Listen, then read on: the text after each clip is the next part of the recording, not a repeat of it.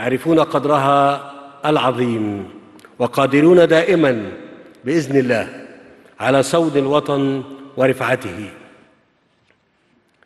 تحية احترام وتقدير من شعب مصر العظيم لقواته المسلحة الوفية لدورها الوطني المقدر في الحرب والسلم لإخلاصها الدائم واحترافيتها المتميزة واستعدادها لجميع التحديات التي تواجه الوطن.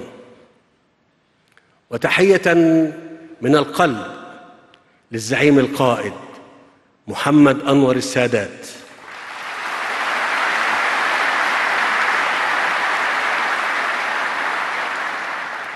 وتحية من القلب للزعيم القائد محمد أنور السادات البطل الذي استشهد في نصب السلام بعد أن كلل جبينه بشرف الحرب من أجل الوطن. تحية له ولشهداء مصر الأبرار في حرب أكتوبر الذين ارتوت أرض هذا الوطن العزيز بدمائهم الغالية وسطروا أسماءهم خالدة في دواوين الشرف والبطولة.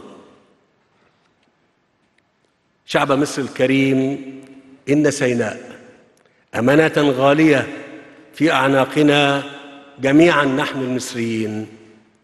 استعدناها بثمن مرتفع وقدمنا من أجلها تضحيات جليلة.